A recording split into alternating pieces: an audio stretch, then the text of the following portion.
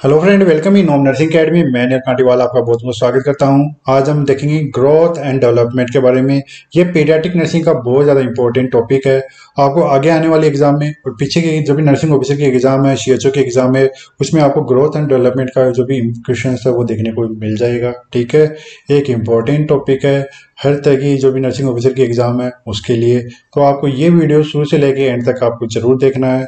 इसमें हम जो भी छोटी छोटी बातें हैं ग्रोथ और डेवलपमेंट की, उसके बारे में हम बात करेंगे। ठीक है तो आप अपना वीडियो शुरू करते हैं। वीडियो शुरू करने से पहले मैं आपको बताऊँगा, आप, अगर आप नर्सिंग ऑफिसर एग्ज़ाम की तैयारी कर रहे हो स्टाफ नर्सिंग एग्ज़ाम की तैयारी कर रहे हो, या सी एग्ज़ाम की तैयारी कर रहे हो तो उसके लिए हमारे पास में एक कम्बाइंड कोर्स अवेलेबल है ऑल इन वन कोर्स जो सिर्फ़ नौ सौ निन्यानवे रुपये में है, एक साल के लिए।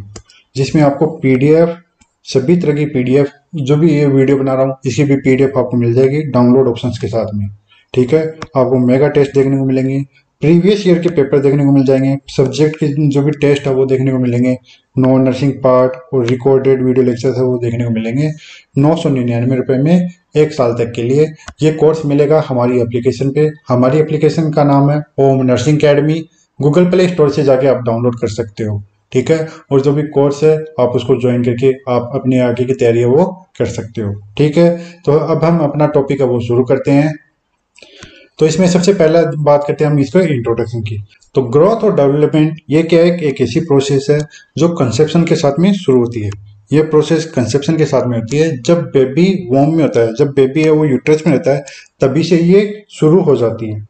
ठीक है? नेक्स्ट देखिए ग्रोथ के बारे में मैं बताता हूँ। ग्रोथ ये क्या है? ग्रोथ है फ़िज़िकल मेचुरेशन जो भी शरीर है, ठीक है, उसका बनना, जो बॉडी है, वो ग्रो कर रही है, ठीक है? अपनी साइज़ में जो इसकी सेल्स है, उसकी संख्या बढ़ रही है, उसकी साइज़ बढ़ रही है, वो आती है ग्रोथ में, ठीक है? और ये क्या है? क्वांटिटेटिव चेंजिंग क्वांटिटेटिव चेंज क्या होता है? संख्यात्मक बदलाव, ठीक है? जिसको हम मेजर कर सकते हैं, जिसको हम मेजर कर सकते हैं। कैसे मेजर करोगे? हाइट है हाइट को आप मेजर कर सकते हो, वो ग्रोथ को मेजर करते हैं। तो हाइट है वेट है, हम इसको मेजर कर सकते हैं। वो क्या है? ग्रोथ ठीक है? जो भी सेल्स की साइज़ बढ़ रही है सेल्स की नंबर बढ़ रही है, वो आता है ग्रोथ में। नेक्स्ट डेवलपमेंटल डेवलपमेंट ये क्या है? ये फंक्शनल फिजियोलॉजिकल और स्किल्स मेचुरेशन है। और ये आता, इसमें हम साइकोलॉजिकल और इमोशनल और सोशल चेंज वो शामिल होते हैं, ठीक है? ग्रोथ में क्या हो रहा था? फ़िज़िकल चेंज हो रहा था। और यहाँ पे आपको फिजियोलॉजिकल चेंज देखने को मिलेगा फंक्शनल चेंज देखने को मिलेगा, जो भी स्किल्स है, वो मेच्योर होती देखने को मिलेगी। वो क्या है? डेवलपमेंट और इसमें साइकोलॉजिकल इमोशनल और सोशल चेंजेस वो देखने को मिलते हैं, ठीक है? तो आपने देखा होगा बेबी है, उसका डेवलपमेंट है, वो कम रहता है। बेबी में डेवलपमेंट और आप एडल्ट में डेवलपमेंट में कंपेयर करोगे तो बेबी का जो स्किल्स है, वो एडल्ट की तुलना में क्या होता है? कम होता है। क्योंकि उसमें धीरे धीरे वो डेवलपमेंट है, वो धीरे धीरे होता है। ठीक है? ये क्या है? डेवलपमेंट इसमें हम बताते हैं जो भी फिजियोलॉजिकल फंक्शनल और जो भी स्किल्स है, उसमें धीरे धीरे वो टाइम के साथ में क्या होती है? वो बढ़ती है। वो प्रोसेस होती है। वो डेवलपमेंट है। एक चीज़ और आती है, वो होता है maturation maturation is development of individual and behavioural characteristics through growth maturation कैसे है? जैसे जैसे ग्रोथ बढ़ेगी, वैसे वैसे उसमें डेवलपमेंट स्किल्स है। वो क्या हो रही है? मैच्योर हो रही वो बढ़ रही है। वो आता है मेचुरेशन ठीक है? वो क्या है? मेचुरेशन समझ गए? ग्रोथ है। ये क्या है? आपकी फ़िज़िकल ग्रोथ और डेवलपमेंट क्या है? ये आपका इमोशनल फंक्शनल साइकोलॉजिकल जो भी स्किल्स है उसके अंदर आपको जो भी डेवलपमेंट देखने को मिल रहा है जो विकास देखने को मिल रहा है, ठीक है, जिसमें वृद्धि आ रही है, वो क्या है? डेवलपमेंट ठीक? नेक्स्ट है characteristics of growth and development तो इसमें कैरेक्टरिस्टिक्स में क्या है? जो ग्रोथ एंड डेवलपमेंट है, ये एक कंटिन्यूस एंड ऑर्डरली प्रोसेस है। ये कंटिन्यूस और ऑर्डरली मतलब कंटिन्यूस क्या है? लगातार और एक क्रम में आती है। ठीक है? ग्रोथ एंड डेवलपमेंट ये क्या है? ये लगातार होती है, लेकिन एक क्रम से चलती है। समझ गए? मतलब पहले बेबी एक साल का हुआ, फिर दो साल का हुआ, फिर तीन साल का हुआ तो उसी के अकॉर्डिंग उसका वेट है, उसी के अकॉर्डिंग उसकी हाइट है, वो बढ़ती है। ठीक है? ये नहीं कि जो भी एक साल का बच्चा है या दो साल का बच्चा है, वो दो साल का बच्चा है, उसकी हाइट है, वो पाँच फुट हो जाए, वो नहीं हो पाती। वो एक क्रम में बढ़ती है। ठीक है? नेक्स्ट है ग्रोथ एंड डेवलपमेंट यह एक सिफेलोकोडल सिफेलोकोडल प्रोसेस है मतलब सिफेलोकोडल मतलब हेड से लेके टेल तक। ठीक है? या हेड से लेके फिट तक ये चलती है। नेक्स्ट है प्रोक्जिमो डिस्टल प्रोक्जिमो डिस्टल में मतलब प्रोक्जिमल से लेके डिस्टल तक मतलब सेंटर से लेके पेरिफेरल एरिया तक। ठीक है? वहाँ से इसकी ग्रोथ है, वो चलती है। तो कैरेक्टरिस्टिक्स में मैंने कुछ ज़्यादा नहीं रखा, ये इंपॉर्टेंट है। इसीलिए मैंने बस दो को डाला, बाकी सिलेबस को बढ़ाना हो जाता है। ठीक है? नेक्स्ट हम बात करेंगे ग्रोथ एंड डेवलपमेंट की स्टेजेस के बारे में। इसमें देखिए, पहले बात करता हूँ मैं प्री नेटल पीरियड इसके बारे में लगभग मैंने जो भी इसका पहला वीडियो बना था इंट्रोडक्शन ऑफ़ पीडियाटिक्स उसमें भी बात की थी। तो प्री नेटल पीरियड में आपको क्या देखने को मिलेगा? From conception to second week इस टाइम पे हम इसको किस टर्म से जानते हैं? वो है फर्टिलाइज ओवम ठीक है? कंसेप्शन से लेके पहले दो वीक का टाइम होता है। हम उसको किस नाम से जानते हैं? वो होता है फर्टिलाइज ओवम एग्ज़ाम में क्वेश्चन आया हुआ है। Next from two weeks to eight week वो होता है एम्ब्रियो और एट वीक से लेके नाइन वीक की जब तक डिलीवरी होती है, ठीक है? उस टाइम तक बेबी को हम किस नाम से जानते हैं? फिटस ये हो गया प्री नेटल मतलब डिलीवरी से पहले। प्री नेटल और हम बात करेंगे पोस्ट नेटल मतलब बेबी की डिलीवरी के बाद के टाइम में। तो इसमें देखिए from birth to twenty eight days होता है नियोनेट और उसको भी दो कैटेगरी में बताया था मैंने, इससे पहले वाले वीडियो में अर्ली नियोनेट और लेट नियोनेट ठीक है? नेक्स्ट देखिए वन ईयर जो भी बेबी होता है, हम उसको किस नाम से जानते हैं? वो होगा इन्फेंट ठीक है? Next one to three year वो होता है toddler three to six year की एज होती है, वो होता है प्री स्कूल ठीक है? नेक्स्ट सिक्स टू ट्वेल्व होता है स्कूल गोइंग चिल्ड्रेन और ट्वेल्व टू एटीन होता है एडोल्सेंट। ठीक है? अब नेक्स्ट हम बात करेंगे ग्रोथ मेज़रमेंट के बारे में। जो भी ग्रोथ है, ठीक है बेबी में ग्रोथ हो रही है, उसको मेजर करेंगे उसके बारे में। इसमें देखिए वेट जो भी वेट होता है, वो ग्रोथ असेसमेंट का सर्वश्रेष्ठ जो भी मेज़रमेंट है, वो माना गया है। क्या? वेट ठीक है? जो फ़र्स्ट वीक होता है न्यूनेट का, ठीक है? उसमें जो भी उस बर्थ वेट है, उसका टेन परसेंट वो कम हो जाता है। ठीक है? फ़र्स्ट वीक ऑफ़ लाइफ उसमें क्या होता है? जो भी बेबी का बर्थ वेट होता है, उससे टेन परसेंट वो बेबी में क्या हो जाता है? कम हो जाता है। क्यों? इमेच्योर किडनी के कारण से और जो भी मेकोनियम एक्सप्रेशन है, उसके कारण से। ठीक है? उसके कारण से जो भी फ़र्स्ट वीक ऑफ़ लाइफ है उसमें आपको टेन परसेंट वेट वो कमी देखने को मिलेगी। लेकिन बेबी वो अगले सात से दस दिन के बाद में या सात से चौदह दिन का पीरियड है, उसमें वेट को वापस ही क्या कर लेता है? रीगेन कर लेता है। ठीक है? नेक्स्ट पहले तीन महीने में जो वेट वेट है वो कैसे बढ़ता है? पहले तीन महीने में जो भी वेट है, वो तीस ग्राम पर डे के हिसाब से बढ़ेगा। ठीक है? और छह महीने से लेके बारह महीने तक, छह महीने से लेके एक साल तक कितना बढ़ेगा? बीस ग्राम पर डे ठीक है इंपॉर्टेंट है ये। नेक्स्ट है, अब हम बात करते हैं नॉर्मल बर्थ वेट वो कितना होगा?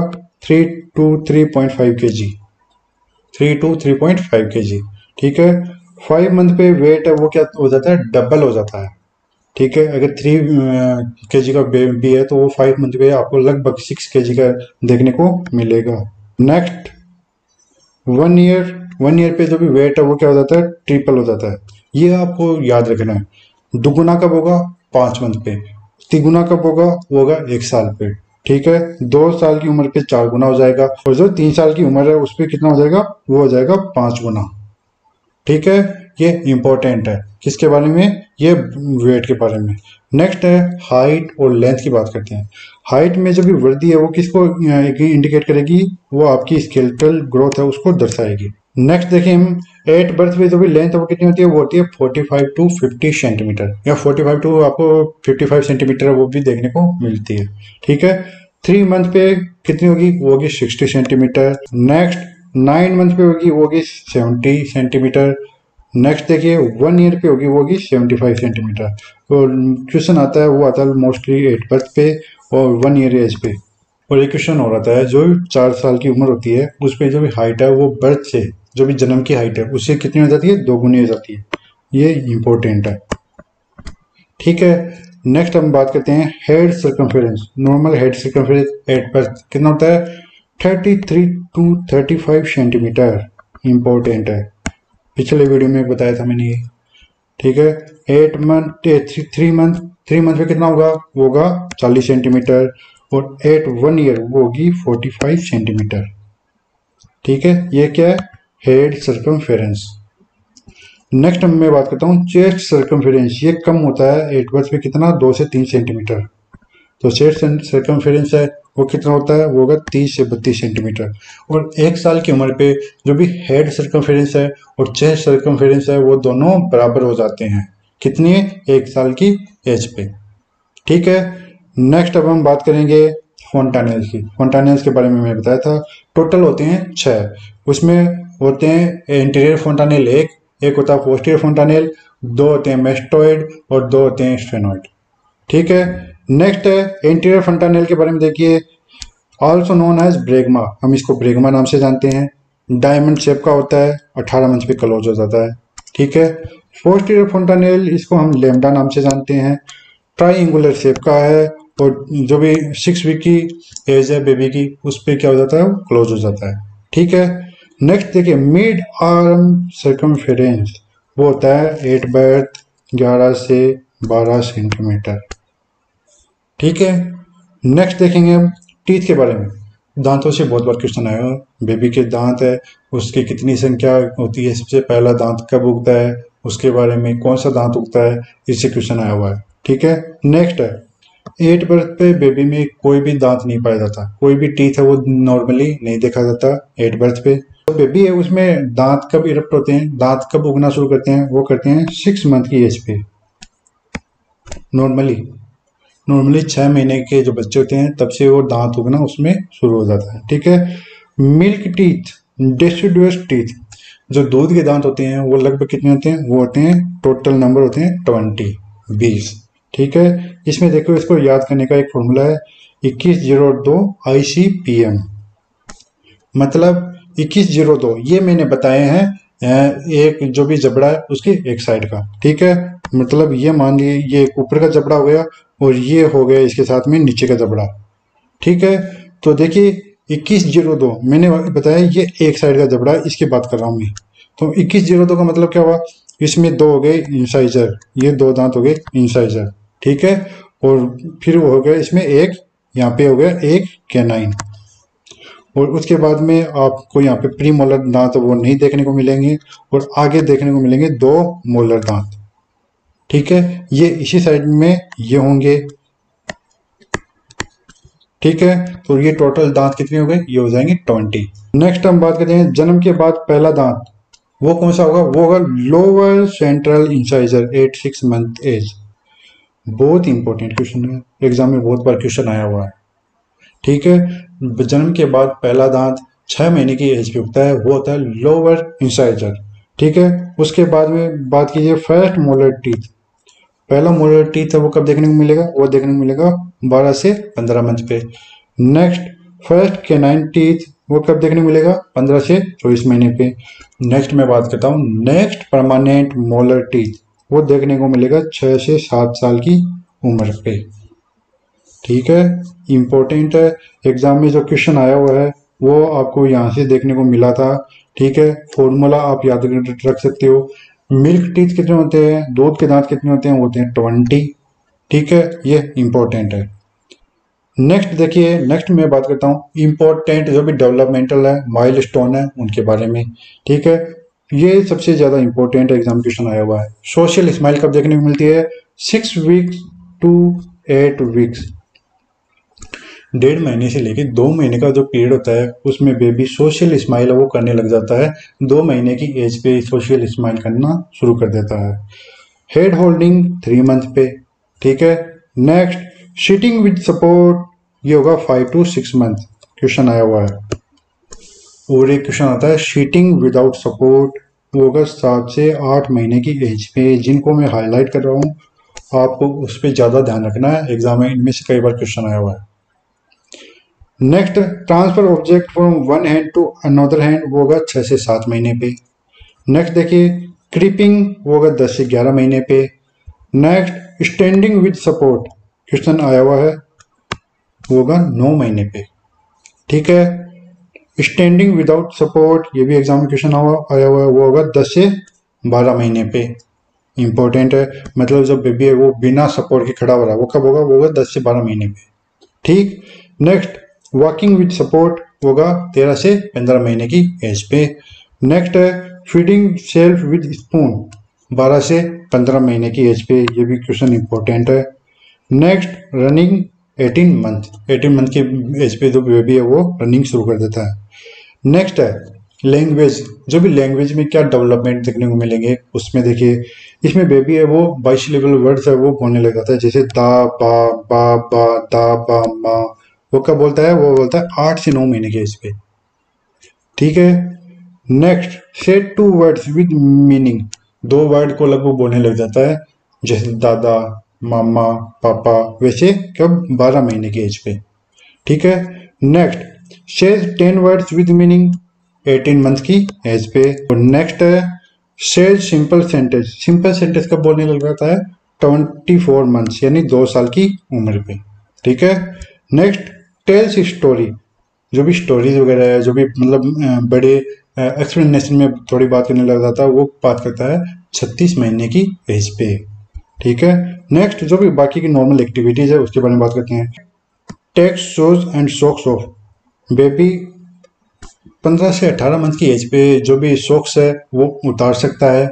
शूज़ है, वो उतार सकता है। ये यहाँ पे क्या कर सकता है? वो उतार सकता है।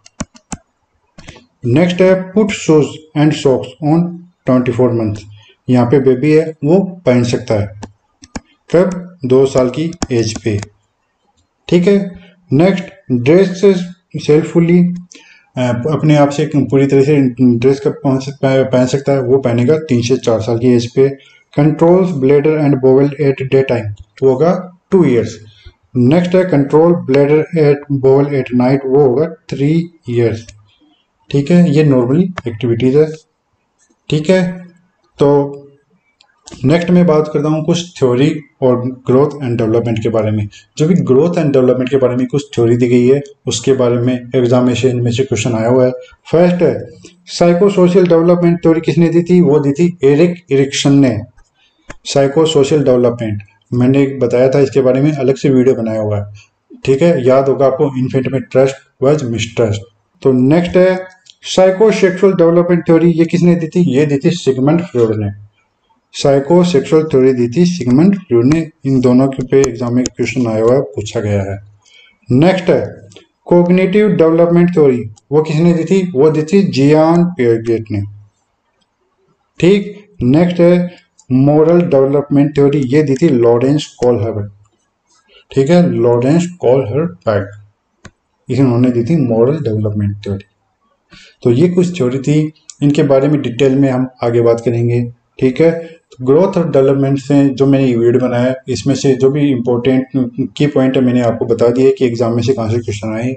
ये वीडियो आपके लिए बहुत ज़्यादा इंपॉर्टेंट रहेगा। अगर आप नर्सिंग ऑफिसर एग्ज़ाम की तैयारी कर रहे हो सीएचओ एग्ज़ाम या स्टाफ नर्स एग्ज़ाम की तैयारी कर रहे हो, ठीक है?